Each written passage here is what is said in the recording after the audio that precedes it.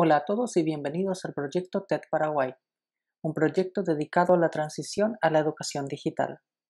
Este es un material de apoyo dirigido al segundo curso Bachillerato Científico con énfasis en ciencias básicas en la disciplina de química y en la capacidad analiza los tipos de enlaces químicos. Esta es la parte 2 de 2 de los materiales a ser desarrollados en este tema y está creado por el licenciado Ángel Darío. En esta ocasión hablaremos acerca de la configuración electrónica. La configuración o distribución electrónica nos dice cómo están ordenados los electrones en los distintos niveles de energía u órbitas, es decir, cómo están distribuidos los electrones alrededor del núcleo de su átomo. Por ejemplo, tenemos la configuración electrónica 1s2. En este caso, este viene a ser del helio. El 1 nos indica el nivel de energía, la S nos indica el orbital y el número 2 nos indica el número de electrones presentes en ese orbital. Tenemos una tabla periódica y aquí podemos ver los tipos de orbitales. Este es el bloque S, donde tenemos el orbital S.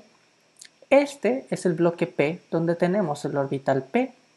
Este es el bloque D, donde tenemos el orbital D. Y este es el bloque F, donde tenemos el orbital F. Trabajemos con un ejemplo. Tenemos un átomo de cloro con 7 electrones de valencia. Para escribir la configuración electrónica del cloro, tenemos que llegar al cloro que está marcado en azul. El cloro está en el nivel de energía 2 en el bloque P en la columna 7A. Entonces, para llegar al cloro tenemos que primero ir a la energía más baja que es el 1s2. 1s2 porque tenemos dos bloques en el orbital s y tenemos dos electrones. Luego vamos al segundo nivel de energía, el 2s. En este caso tenemos dos bloques llenos de electrones, entonces 2s2. Por último, vamos al tercer nivel de energía, el nivel 2p. Aquí tenemos 5 electrones. 1, 2, 3, 4, 5. Entonces, la configuración electrónica del cloro es 1s2, 2s2, 2p5. También tenemos la representación puntual de Lewis. La fórmula puntual de Lewis consiste en usar el símbolo para indicar el elemento y puntos para representar los electrones. La cantidad de puntos colocados alrededor del símbolo es igual al número de electrones en los orbitales más externos ocupados. También se indican los electrones apareados y desapareados. Continuando con nuestro ejemplo del cloro, tenemos que los niveles de energía son el 1s2, el 2s2 y el 2p5. En este caso, los electrones de valencia son solo el 2s2 y el 2p5 porque estos son los niveles de energía más externos, así que marcamos con una X el nivel de energía 1s2. El orbital S tiene un solo bloque, el orbital P tiene tres bloques. Cada bloque puede tener un máximo número de dos electrones. Como podemos ver, el 2s tiene un número de electrones de 2, así que marcamos el primer electrón con un spin arriba y el segundo electrón con un spin abajo. Decimos que este bloque tiene electrones apareados porque tiene uno apuntando arriba y otro apuntando abajo.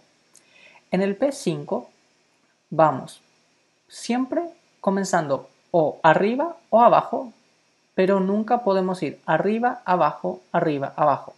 Entonces, arriba el primer electrón, arriba el segundo electrón, arriba el tercer electrón.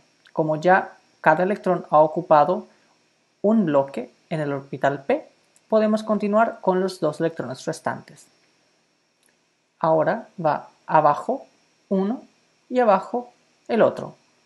Aquí podemos ver que tenemos en el orbital 2p, en este caso con 5 electrones, tenemos dos bloques con electrones apareados y un bloque con electrones desapareados. También hablaremos de los tipos de enlaces. Tenemos los enlaces iónicos y los enlaces covalentes. Los enlaces iónicos forman compuestos iónicos y los enlaces covalentes forman compuestos covalentes. Los enlaces iónicos son entre un metal y un no metal y los enlaces covalentes son entre no metales. En los enlaces iónicos el metal dona electrones al no metal y en los enlaces covalentes los electrones son compartidos entre átomos. Los enlaces iónicos forman compuestos que son buenos conductores de electricidad y tienen un punto de ebullición alto y los enlaces covalentes forman compuestos que son malos conductores de electricidad y tienen un punto de ebullición bajo. Ejemplos de enlaces iónicos son el cloruro de sodio, donde el metal es el sodio y el no metal es el cloruro, y el hidróxido de magnesio, donde el magnesio es el metal y el hidróxido es el compuesto poliatómico no metal, y el hidróxido de sodio, donde el sodio es el metal y otra vez tenemos al hidróxido como el no metal poliatómico. Como ejemplos de moléculas que se forman por enlaces covalentes tenemos al agua, H2O, al metano, el oxígeno, el aire que respiramos, y el dióxido de carbono, el aire que exhalamos. La gran diferencia entre los tipos de enlaces iónicos y covalentes son la interacción molecular. En el enlace iónico, como ya vimos en el caso del cloruro de sodio, la interacción es electrostática no existe un enlace en sí, sino una interacción bastante fuerte electrostática. En cambio, en los enlaces covalentes tenemos una interacción en donde, por ejemplo, en la molécula del agua, el hidrógeno está compartiendo electrones con el oxígeno y forma un enlace porque no hay una donación directa de electrones, sino más bien están compartiendo los electrones. Lo mismo pasa en este hidrógeno. Entonces, este sí es un enlace verdadero en la que los electrones están siendo compartidos por ambos átomos y podemos ver que hay una densidad de electrones alrededor de la molécula, pero que el oxígeno, al ser más electronegativo, tiene una densidad de electrones más alta que ambos hidrógenos. Gracias.